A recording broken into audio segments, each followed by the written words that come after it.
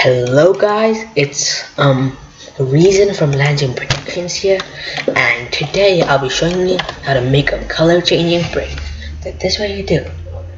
First, you create a part like this. I already have a part right here. Then you can you create a script and drag it over in the part. So like this to here, like that. Then do what I do.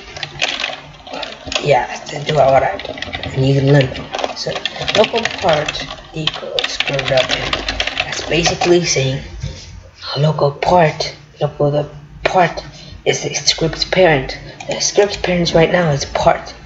So it's basically saying part.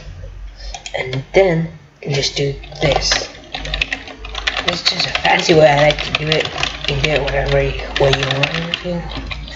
And so function y then that might then wait to repeat wait until nil um part dot brick color equals color dot random.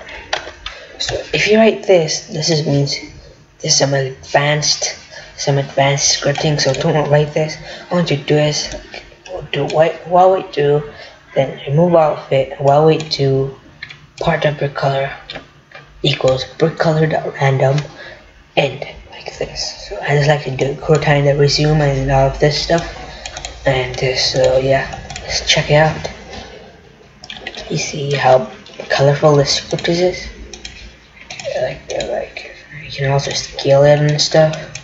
You see how colorful this brick is? It's gonna give me a seizure, seizure, seizure. Yeah.